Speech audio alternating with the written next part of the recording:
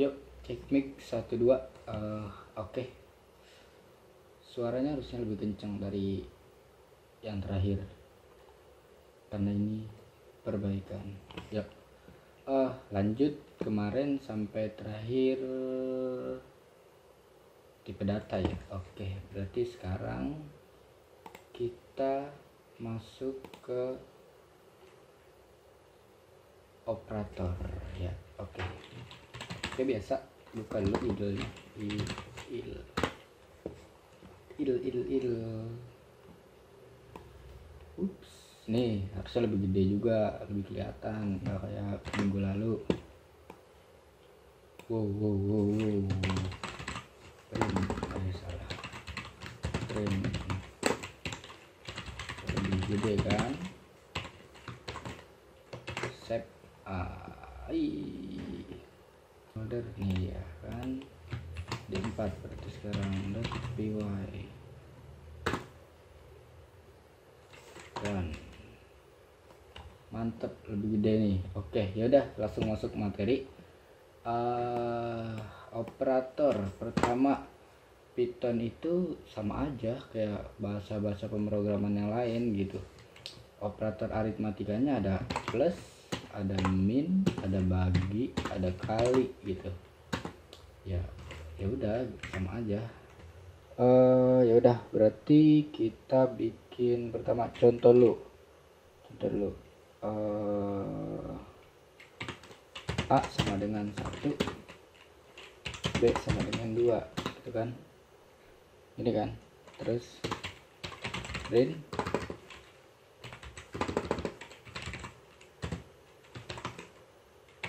A tambah B. Ya udah bentar. Apa? Kan. Tiga gitu. Ya ya udah gitu. Bentar kenapa ini? Sintaksnya nggak ada warnanya dong. Nah, terus uh, kita ganti coba uh, biar angkanya lebih menarik. Empat. Set. Kayak biasa kayak biasa. Oh apa nih? Apa nih? Santuy bro ternyata. Tuh 4 tambah 2 6 print terus A min B. Print A bagi B 4 bagi 2 gitu kan. Print A kali B. Ini operator aritmatika standar di seluruh bahasa pemrograman ya bakal kayak gini gitu. Print A tambah B 2 tambah 4 6 4 kurang 2 2 4 bagi 2 2 4 kali 2 8 oke sampai sini. Udah jelas paham dong. Paham lah pasti ngerti pasti paham.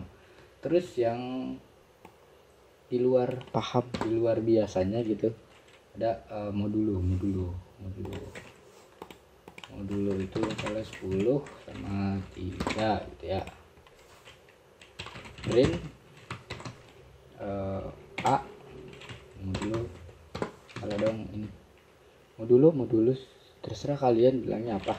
Gitu cuman dia ini pasti kalian lebih tahu lah gitu. Masa nggak tahu gitu. Satu jadi 10 bagi tiga sisanya berapa gitu. Sisanya satu. Coba misalnya nih misalnya nih ya 11 bagi tiga sisanya dua gitu. Hasilnya dua. Jadi dia ambil sisa dari pembagian ya kalau 12 nggak ada sisanya habis. Habis jadi nol tuh gitu. Ham ham. Terus setelah modul ada lagi yang menarik nih. Ada yang menarik nih dari dari si Python ini. Uh, saya kasih angka 10 lagi balikin lagi. Jadi print A garis miring garis miring. Bagi bagi baginya dua kali ya. B nah ini adalah floor division atau bagi tapi dibuletin ke bawah kayak 10 bagi 3 kan 3,33333 gitu kan Lalu biasanya nih coba standar dulu standar dulu save print eh print jalanin nih sorry ke sana dulu 3333333 kan tapi kalau kita pakai floor division ya kita bagi bagi turunin ke bawah dia bakal jadi tiga doang gitu nah misal misal. Min 10 berarti kan min 33333 kan? Set. Refresh min kalau dibulutin ke bawah jadinya berapa? Bukan min 3 tapi min 4 karena 3 min 3 itu lebih tinggi dari min 4 min 4 kan ke bawah dibulutin ke bawah sama dia. Itu paham? Paham dong. Terus terus terus. Ada lagi satu lagi ini. Ini pangkat. Jadi 10 pangkat 3 ke kegedean angkanya. Saya bingung hitungnya 3 pangkat 3 gitu kan. 9 gitu kan. 3 pangkat 3 eh bukan 3 pangkat 3 3 kali 3 9 3 9 kali 3 27 ya benar. Jadi uh, ini adalah pangkat gitu. Berapapun angkanya ya dia bakal dipangkatin sama dia. 3 kali 3 saya bingung juga ngitungnya. Kalau saya payah soalnya 2 kali 2 4 4 kali 2 8 gitu kan. Save 5 jalanin 8 ini adalah uh, pangkat pangkat ya pangkat. Terus ya ini nih operasi aritmatika standar ya. Maksudnya standar di Python. Kayak ya yang enggak standar di Python yang paling beda tadi yang kalian tahu ada ini sama ini gitu di bahasa lain nggak ada. Kayaknya nggak ada sih cuma ada di Python kalau saya nggak tahu tapi kalau ada yang tahu ya kasih tahu saya. Koreksi kalau saya salah. Gitu. Ini floor division ini pangkat gitu. Oke jadi pertama ada tambah kurang kali sama bagi. Terus yang unik itu semua modulusnya gitu. Semuanya ada kan semua bahasa pemrograman. Yang unik dia ada floor division sama pangkat oke. Setelah itu uh, ada comparison operator kayak operator perbandingan operator perbandingan ya sebutnya. Operator perbandingan itu kayak apa bang? Operator perbandingan itu gini kalau gini sama dengan tidak sama dengan lebih besar eh lebih kecil lebih besar lebih kecil sama dengan sama lebih besar sama dengan gitu ya gitu ya ya udah gitu Nah, gimana uh, fungsinya apa nih? Fungsinya apa? Fungsinya dia ini kalau kita pakai uh, statement, dia ini bakal ngeluarin true atau false. Jadi uh, operator perbandingan ini cuma buat ngebandingin gitu misalnya. Misalnya di ya kan ini kan A tambah B gitu kan. Terus kita print. Ini hasil keluarannya kalau kita operator perbandingan dia cuma bakal ngeluarin true atau false doang. 2 eh, A itu lebih kecil dari B gitu kan. Apa hasilnya? Bener kan? Bener true. Dia bakal munculin true. Kalau kita balik kalau kita balik ya dia cuma bakal munculin false. Jadi uh, operator perbandingan ini buat ngelihat uh, nilai nilai kebenaran dari suatu gimana sih nilai kebenaran dari suatu nilai? Ya udah pokoknya dia perbandingan untuk menentukan perbandingan gitu. Ini benar apa salah nih perbandingan dari dua ini gitu. Buat ngebandingin. Banding banding dan dibanding bandingin gitu. Tapi dia tidak misalnya tidak sama dengan gitu. Ini pasti true hasilnya. Karena dua tidak sama dengan dua sama dengan tiga sama dengan tiga. Dua tidak sama dengan tiga. Dua tidak sama dengan tiga. Terus uh, paham kan cara pakai ini kan? Tidak sama dengan tidak sama dengan. Oh misalnya uh, lebih kecil sama dengan. Dua lebih kecil sama dengan tiga. Save jalanin. Mana jalannya? Di sini biasa dia mau muncul di sini. Baik. True hasilnya benar karena dua itu tidak sama dengan tiga. Tapi kalau ini saya ganti tiga ya dia tetap bakal munculin true karena kurang dari sama dengan kurang dari atau sama dengan tiga gitu. Tiga kurang dari atau sama dengan tiga. Ya benar gitu. Tiga sama dengan tiga yang diambil karena ada ataunya. Ini bacanya kurang dari atau sama dengan. Jika salah satunya benar maka benar itu atau kalau dua-duanya benar lebih benar. Tapi nggak bisa karena uh, gimana? Karena angka ini cuma bisa satu hasilnya.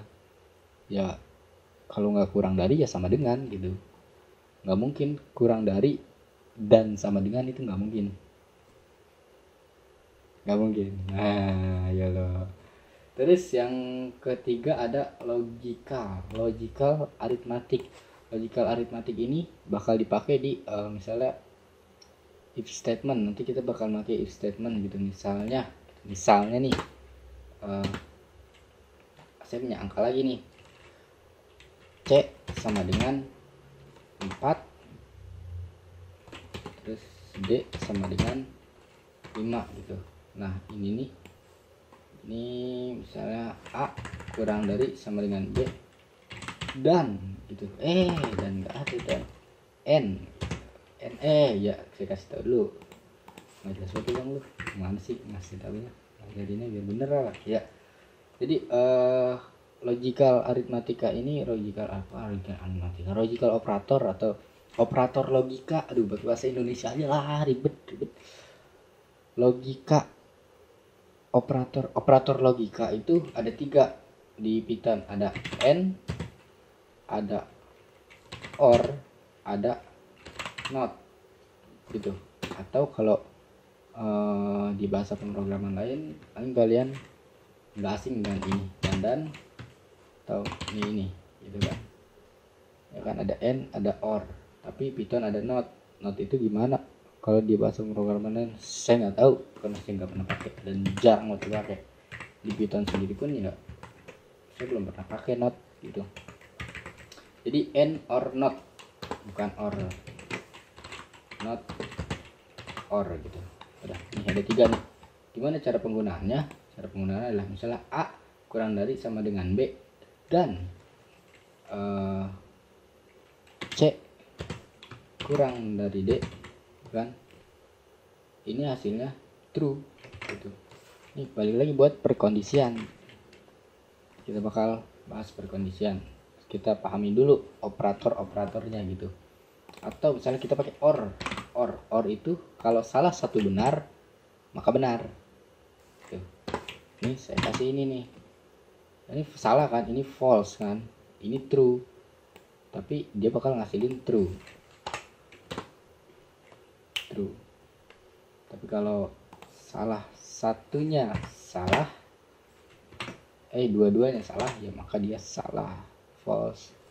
Itu. Nah or eh not ini apa bang? Not ini kayak apa? Not ini bakal cuma nampilin kesebalikan dari yang true atau false gitu. Jadi dia tuh naruhnya gini. Not a kurang dari b. Jadi a eh a lebih besar dari b. A itu lebih besar dari d a. Oh tadi tipe ya udahlah lanjut gitu. A lebih besar dari d.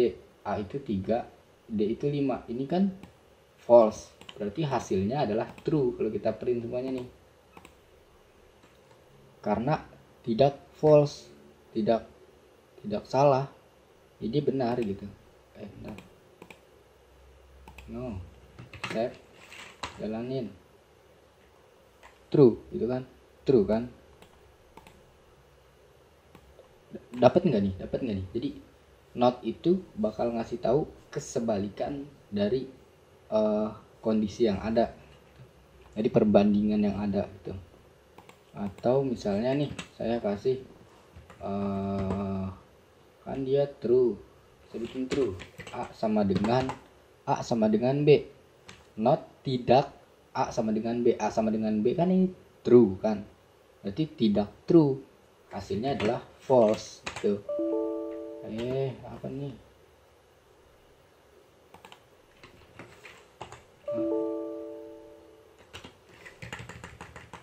Sama dengan sama dengan. Mana ada sama dengan doang? Gitu.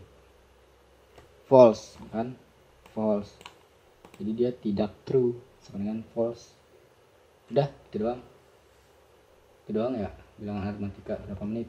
17 menit. Lama juga. Ini ngejelasin ginian doang jadi uh, pertama ada operator aritmatika tambah kurang bagi kali modulus modulus modulus floor division eksponensial atau pangkat. Terus ada ini operator mati matika matika terus ada operator ada operator apa tadi? Comparison. Operator perbandingan. Perbandingan. Operator perbandingan itu ada sama dengan tidak sama dengan kurang dari lebih dari kurang dari sama dengan lebih dari sama dengan kan? Sama ada operator logika ada not ada or ada and sebenarnya ada lagi namanya bitwise. Bit bitwise ini nih. Bitwise operator. Operator bitwise operator bitwise ini kayaknya nggak bakal berguna sekarang-karang ini. Jadi saya nggak bakal jelasin karena cuma bakal bikin kalian bingung. Nggak ngerti apa-apa nanti malah malah lupa semua nih apa yang udah dijelasin sekarang nih itu jadi buat kenang-kenangan ini di save ini komen dulu itu komen. Ini komen juga tuh kenang-kenangan komen. Komen. Komen. Komen. Ini buat kenang-kenangan di save simpen. Udah sampai sini saya uh, jelasin ya makasih yang udah nonton. Makasih banyak. Semoga apa yang saya sampaikan nyangkut kepake bermanfaat. Jumpa lagi next video. Bye bye